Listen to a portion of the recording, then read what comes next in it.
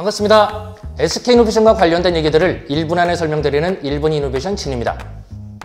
얼마 전에 아이를 데리고 서울 성동구에 있는 새활용 플라자에 다녀왔습니다. 정말 다양한 분야의 친환경 제품들이 있었습니다.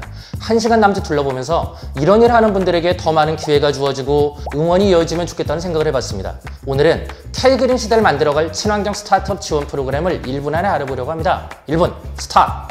얼마 전 20개 스타트업의 대표들이 온라인 발대식을 가졌습니다. 너댓 명의 직원들이 전부인 회사도 있고 20명 가량 되는 곳도 있습니다. 전기차 배터리 소재 재활용, 폐플라스틱, 저탄소 기술 등 사업 아이템도 다양합니다. 닮은 구석이 별로 없어 보이는데 친환경이라는 공통된 키워드를 갖고 있죠.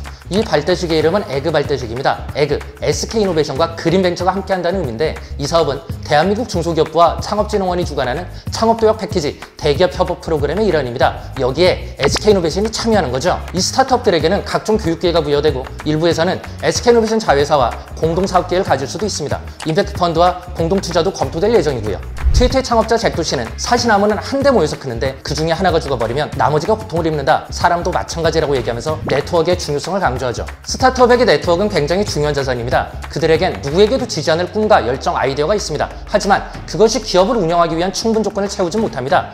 K그린의 거인은 스스로 만들어지지 않습니다. 함께할 때 만들 수 있습니다.